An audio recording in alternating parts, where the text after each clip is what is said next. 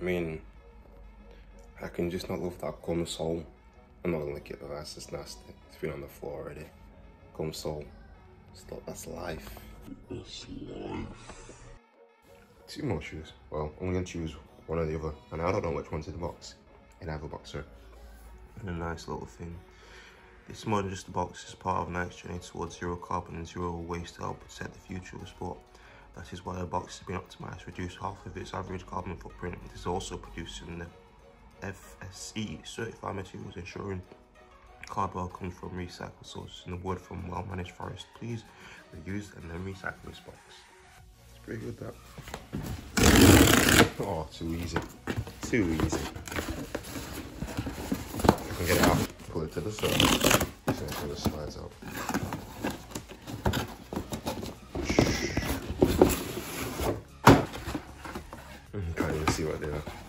I'm guessing this is Reacts and this is Metcons. Oh, other way around.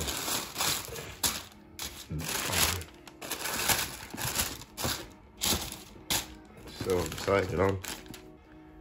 Got these in the sale, literally more than 50% off. I'm not a fan of this colourway. I did add the basket and add a certain colour to the basket and then I waited till the night and then it went out of stock. And I didn't know these until Joe told me. But I'm loving the gum sole.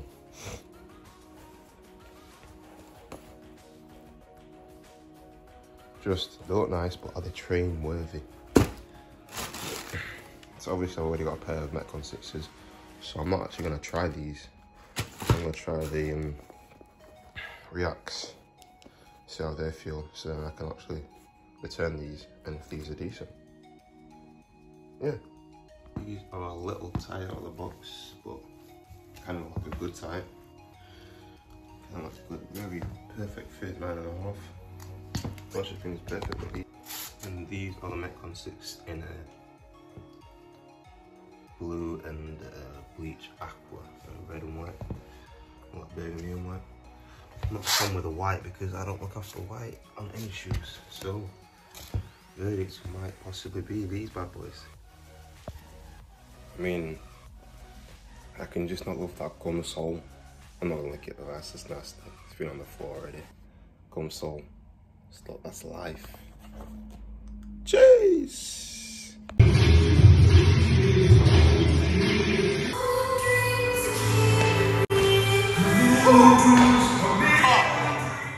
Okay, time for the review of the Nike React 1, I think. It must be the first one. Yeah, so after about five months of trying these, wearing these, doing weightlifting, didn't do much running. I just did kind of, whenever I do running, I just do like um, short sprint, short runs. So 10 meter, 20 meter kind of stuff in my training. So pretty good shoe. I kind of went these went to these as a go-to for like any fast workouts or like workouts where I don't do a lot of lifting because they are a tiny bit lighter in a way. Um, just feel light on your feet if, if anything because um, you can just slip them on, slip them off quite easy rather than having to go down and be laces and stuff like that. They are exceptionally well for double unders because when I tie my laces sometimes, don't tie my laces, very good. And these, I literally, I don't even change it. I don't know why I pull that. When you pull that, it goes quite tight. But when I put them on, I just put them on like this.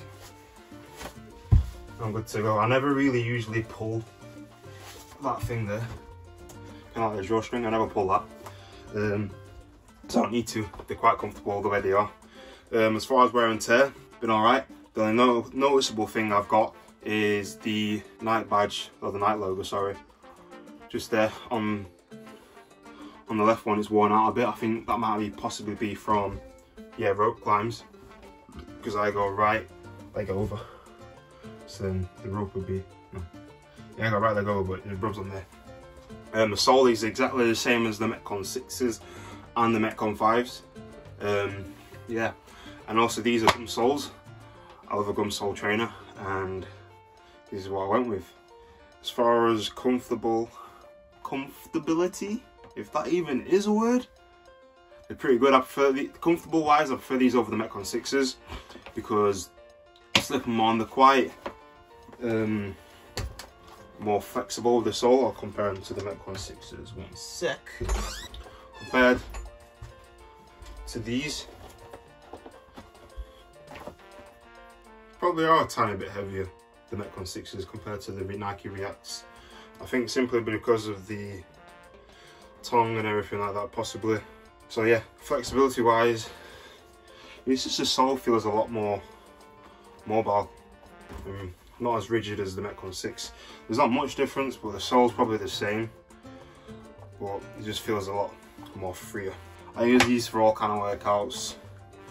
Pretty much same as the Metcons. If you're wanting anything to do like workouts in, I recommend the Nike React. or the Metcon 6s, I say the Metcon 6s a bit are a bit better, simply because you can kind of, if you have, like for me, I have one ankle smaller than the other, I think, slightly. And with the Metcons, I, I can tie them tight to my ankle. Whereas with these, they're the same. I don't really want to tighten this because it feels too tight on my foot. I really enjoyed these. They're pretty good for all kind of stuffs. Stuffs? Stuff. Stuff? All kind of things when you train. And I also almost forgot one thing. The insole is actually different. That's probably why they feel a bit lighter. They're, they are a reacting sole. Insole here, a little bit spon this one is a little bit spongier compared to the Nike Metcon sole on the heel. Um, same um, on the, the uh, what's it called? No, these yeah these are about the same on the balls of the shoe of the insole. Sorry, um, that's the insides. If you want to have a look at that, that's the bottoms. And whereas with the Metcon Z, Metcon 5 and 6, you get a heel raise, I think it says on it. It's like, probably about, yeah, so it's 8mm insole to put in the shoe, in the Metcons, whereas the React you don't get an insole insert. But I think, I think I'll try it on now. You just slip them in, pop that, push the heel to the back, slide your shoe in, put the shoe in. And I've never actually tried these with the Reacts. And slide the insole through like so.